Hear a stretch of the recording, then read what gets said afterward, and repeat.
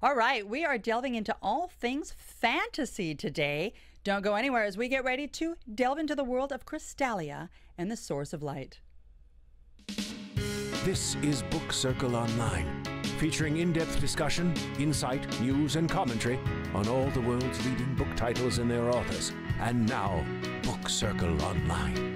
All right, welcome back, everybody. I'm your host, Katerina Cozias. This is another edition of Book Circle Online, where, of course, we come to you with uh, very engaging, what we feel are engaging author interviews, discussion, and all things literar- literary and literal sometimes. Uh, you can find me before we get started across all my social media platforms at Katerina Cozias. Of course, you can stream Book Circle online via podcast as well as via our website and on YouTube. You've got to love social media. Today, though, we are here with PM Glaser. That's Paul Glaser, who is the author of the book we're going to be discussing today, Chrystallia and the Source of Light. Welcome to the studio. Thank you, Kat.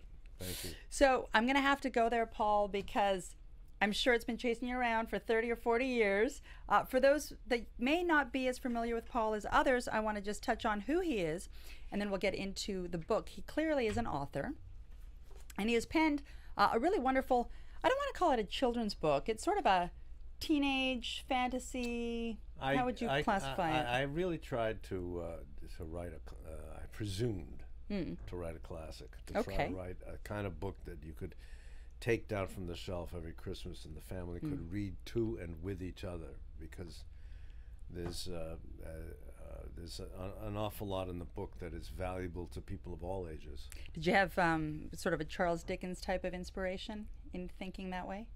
You know, I don't know. Uh, I don't know. I, I think I used to love to write when I was young. Okay. And uh, I had written this 15 years ago as a screenplay. And uh, at the time, there was no technology to make the movie. Uh, It, it requires a technology that animates the properties of light. Mm-hmm.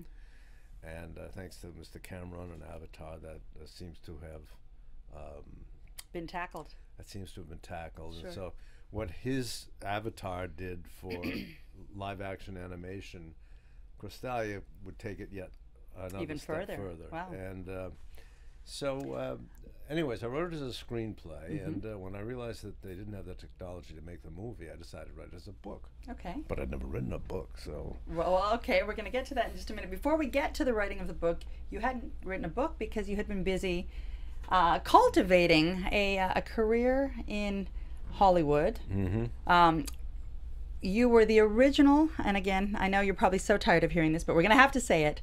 You are best known for your work as the original David Starsky, Detective David Starsky on Starsky and Hutch back in the Yeah. 70s. Mm-hmm. And you also made a cameo appearance in the 2004 version, which was mm-hmm. Ben Stiller and Owen Wilson. How did it feel to come back into that role? Well, it's you know, first of all, it's a big compliment for uh, anybody to make a movie of it. It showed that you did. You Yeah. know, Oh, yeah. It became rather iconic, and did. and uh, so that was nice, and it was you know it was it was a pleasure. I just worked a day on it, but we had a good time. But you had a good time. You've also done, I mean, you've done a lot of other things. I know you um, you directed, was it Running Man with Arnold Schwarzenegger? yeah, I've directed five films. Okay, yeah. Yeah. Yeah, and then done some some appearances in television as well. Mhm. Miami Vice and Criminal Minds is one that I read about, so Mhm. that's fun. Um, so that was Hollywood, and that was your film career. But we want to talk about what drove you to write a book. Well, you said it was a screenplay originally.